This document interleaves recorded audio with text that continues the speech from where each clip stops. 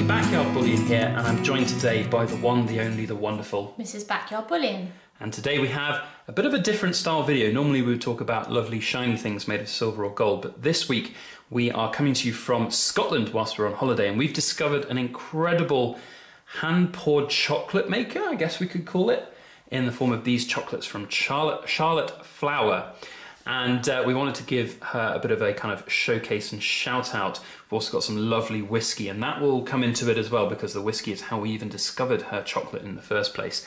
And before we go on, I just want to put a little note here to say that we're not being sponsored by Charlotte Flower. This is not a sponsored video or anything like that. We just really love her chocolate, and we wanted to give her a shout out. She's a small business working from home as well and it was really fun to meet her and talk with her and taste her chocolate and as you can see buy a bunch of her chocolate too. So uh, this is not a sponsor video. We just thought it would be fun for you to see. And if you are a chocolate fan then I would highly recommend that you go and check out her website. Uh, she did say though she does not ship outside of Europe.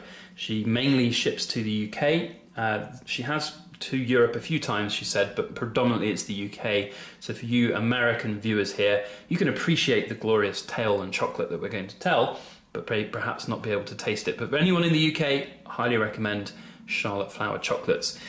So uh, yeah, we're up in the Highlands of Scotland, just uh, north of Edinburgh, in a place called Aberfeldy, or nearby Aberfeldy anyway. And uh, we've discovered this fantastic chocolatier by visiting a whiskey distillery, which is a really happy happenstance, I suppose, wasn't it? Yeah. We've really enjoyed going to these different um, distilleries. As you can see, we've got a whole array and selection of small aeroplane bottles of whiskey. They're really fun and good way to be able to sort of taste loads of different whiskies without breaking the bank balance.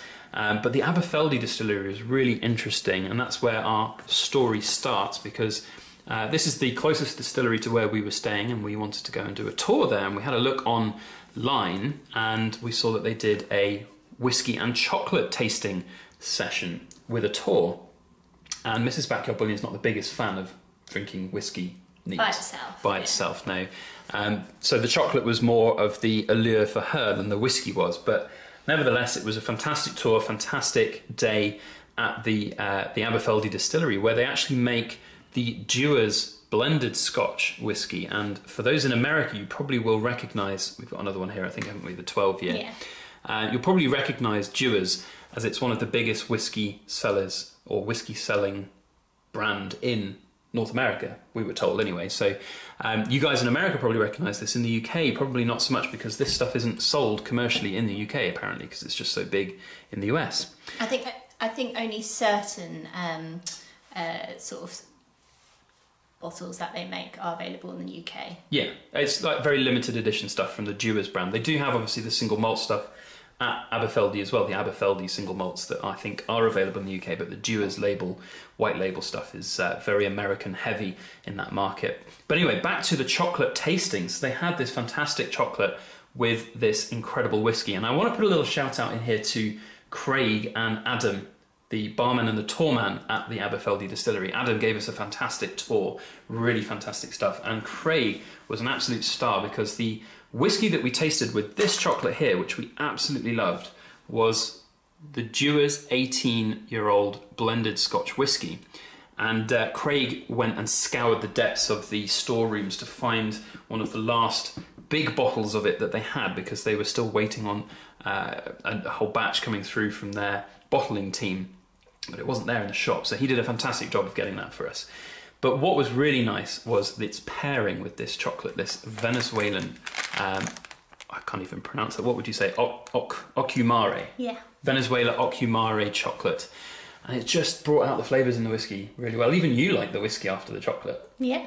I think what was really interesting is that Charlotte Flower makes them in chocolate thins, which yeah. we haven't come across. So you... But um, it actually really brings out um, tasting chocolate as well as the whiskey.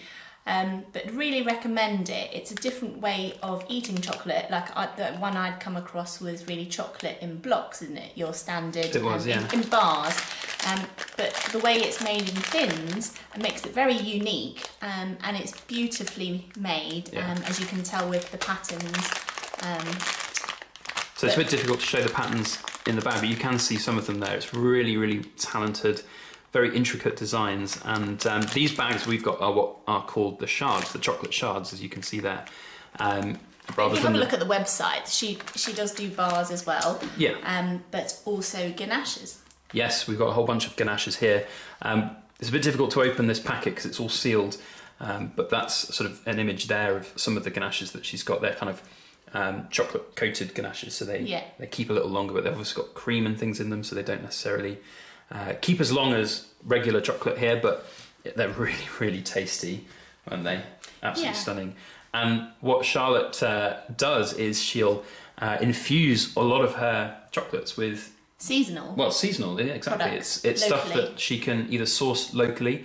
Uh, or, she goes out and handpicks them. Yeah, she forages for things, which I thought was really quite refreshing to see. And she even showed us this bucket of, I think it was clove root that she was saying, and Something she like she had to process it to bring out some of the flavors and smells in it.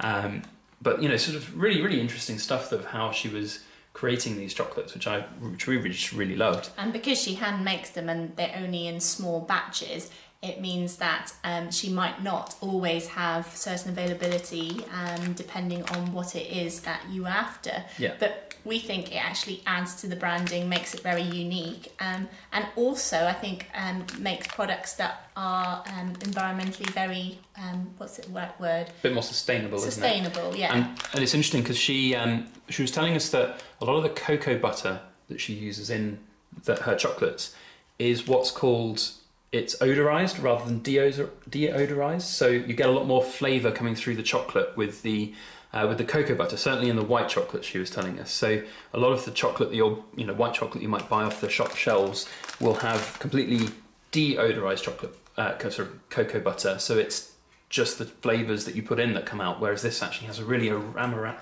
what's the word? Aromatic. aromatic. That's it um, flavour that comes out with the chocolates as well. So it's really, really tasty, very cool. Sometimes I think white chocolate isn't um, hasn't got the same, uh, I guess, um, kind of famous chocolate. Yeah, it's not. It's not seen as the haute cuisine of chocolate, is it? It's yeah. like the, the, dark chocolate is always the one that gets the. And sometimes accolades. I find it overly sweet, but actually, um, the white chocolates that she makes um, is really lovely, and I'd highly recommend it. Yeah, definitely. So uh, if you are up in sort of the north part of Scotland, uh, it's not even that far north. We're in, we're in, sort of central Scotland, basically north of Edinburgh.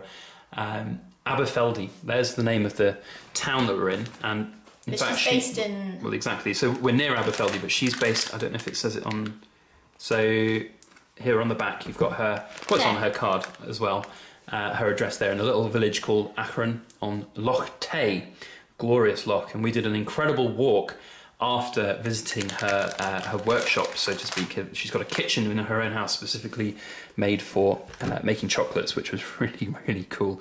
She does even chocolate uh, making sessions, like workshops and things as well. So if you are in the region, then definitely go and say hello. And uh, here's a few little clips of video and a few photos of the big gorgeous walk we did with these waterfalls in the background.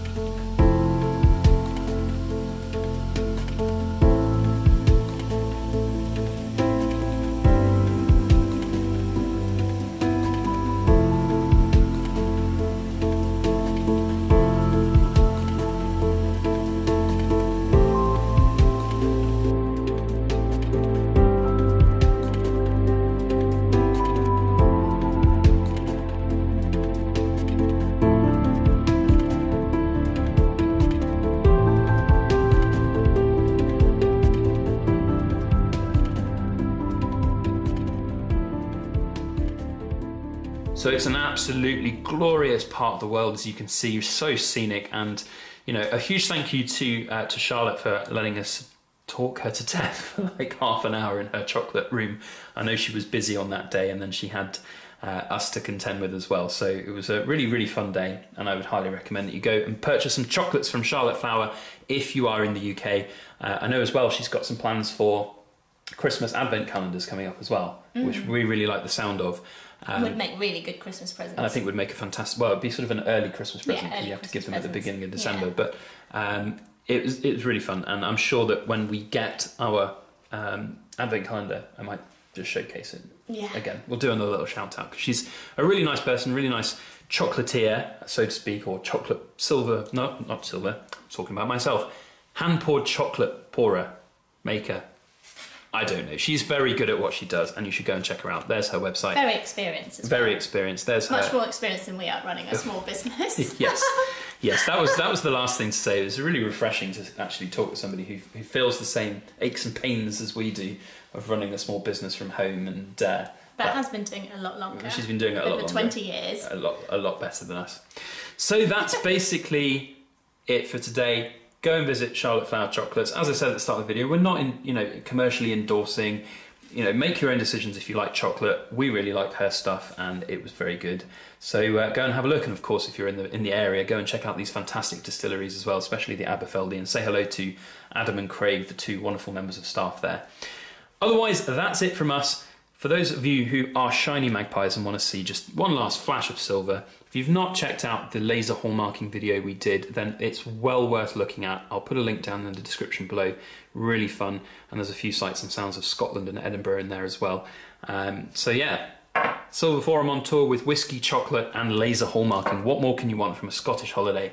That's us signing off. Thank you all for watching. If you enjoyed today's video, please make sure you hit that like button and share it around on your social media if you enjoyed it.